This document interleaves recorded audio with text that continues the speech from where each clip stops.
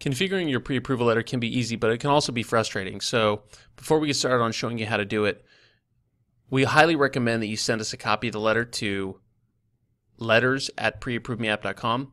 If you're a do-it-yourselfer, that's great. Go ahead and go to your pre-approval letters setting, click Edit Letter Template, and here you'll see that there is essentially like a Word document editor. All of these blue fields represent dynamic text that you can pull from this dynamic text box right here. So to add dynamic text, just click the link. You can see these are all drop downs. You can place these text fields anywhere in the body of the email that you want. To replace your company logo, it's as easy as deleting the one that's in there. Um, likely, if you've already uploaded your logo to your company or personal settings, it will appear here as a default.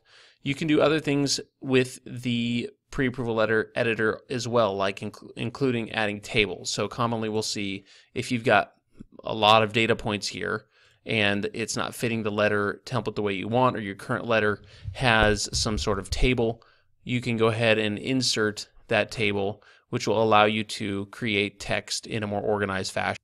One of the most important things you'll need to know about the letter is that we support both pre-approval and pre-qualification. As you can see right here, you're indicating whether the letter you're working on is a pre-approval or a pre-qualification letter. Okay, this does not change the template you're working on right here. So if I click this, it doesn't create a new template.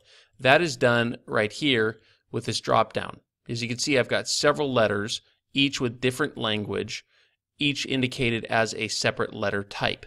Most commonly, we see companies with one pre approval letter, one pre qualification letter, and then from inside the loan, you're indicating whether or not this customer is pre approved or pre qualified. If all of your letters are going to be one or the other, that's fine.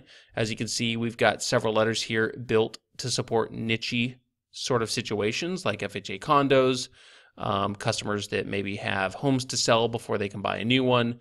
And all you need to do is from inside the loan, select the letter template that you want this customer to have access to. So you can get as granular as you want with the details. It's important though that you realize that as a default, you have one default pre-approval and one default pre-qualification letter. Those defaults will be the first two of each kind. So the first letter, if it's pre-approval, that's fine. The second letter might also be a pre-approval. The third letter might be a pre-qualification. If you indicate that it's a pre-qual, we will look at the third letter in your list because that's the first one indicated as a pre-qual. And again, if you guys want us to help you, please send us copies of your letter. Go ahead and email them to letters at and we could build these templates out for you so you don't have to worry about it. If you have any questions, don't hesitate to reach out and we're hope this brief overview of our pre-approval letter editor was helpful.